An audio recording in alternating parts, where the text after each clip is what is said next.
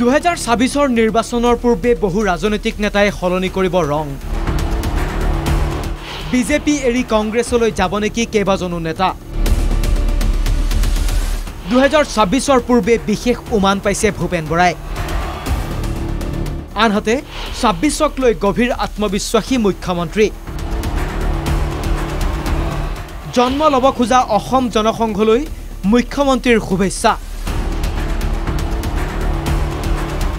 আশাত বন্দী অখিল গগৈ। ৰাজ্যৰ ৰাজনীতিত বিগত কিছুদিন ধৰি চৰ্চাত আছে এটা বিশেষ প্ৰসংগ। শাসকীয় পক্ষ এৰিবলৈ মন মেলিছে বহুকেইজন নেতাই। বিৰোধী পক্ষ সাজু হৈ আছে আদৰিবলৈ। এনে সময়ছোৱাত মুখ্যমন্ত্ৰী হিমন্ত বিশ্ব শৰ্মাই যদিও জানুৱাৰী মাহ পৰ্যন্ত দল ত্যাগ আৰু যোগদান সন্দৰ্ভত কোনো মূৰ নঘমাই বুলি মন্তব্য কৰিছে তথাপিও মুখ্যমন্ত্ৰীৰ ভৱিষ্যতবাণী দুহেজাৰ ছাব্বিছৰ পূৰ্বে কংগ্ৰেছৰ বহু নেতাই পিন্ধিব গেৰুৱা বহন। এটা কথা ঠিক যে বিধানসভা ইলেকশ্যনৰ আগে আগে কংগ্ৰেছত কোনো নাথাকে চব বিজেপিতে আহিব। মুখ্যমন্ত্ৰীৰ এই ভাষ্যৰ বিপৰীতে ভূপেন বৰাৰ সেই একেই দাবী। বহু বিজেপি নেতা কংগ্ৰেছৰ সৈতে যোগাযোগত আছে। ফৰ্মেল পৰ্যায়ত এতিয়ালৈকে আমাৰ এজন বিজেপিৰ প্ৰাক্তন বিধায়কে যোগদান কৰিব বিচাৰিছে বুলি মোক আমাৰ এজন সাধাৰণ সম্পাদকে জনাইছে।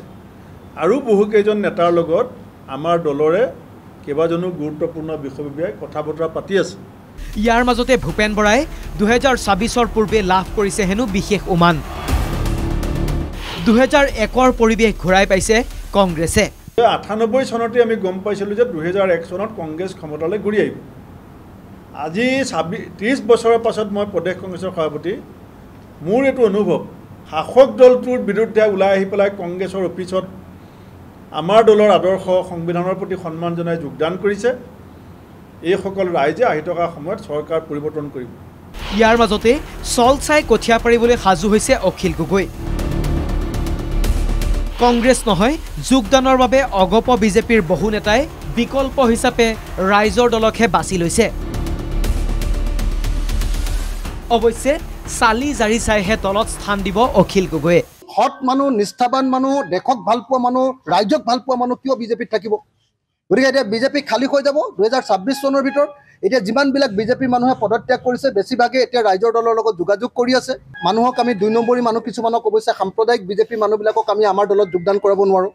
কেলেংকাৰী কৰা আৰু চিণ্ডিকেট কৰা মানুহবিলাকক আমাৰ দলত ল'ব নোৱাৰোঁ। সেইবিলাক তেওঁলোক হয়তো বেলেগ দললৈ যাব। আনহাতে ৰাজ্যৰ ৰাজনীতিত চৰ্চাত থকা অসম জনসংঘ সন্দৰ্ভত প্ৰতিক্ৰিয়া দিলে মুখ্যমন্ত্ৰীয়ে।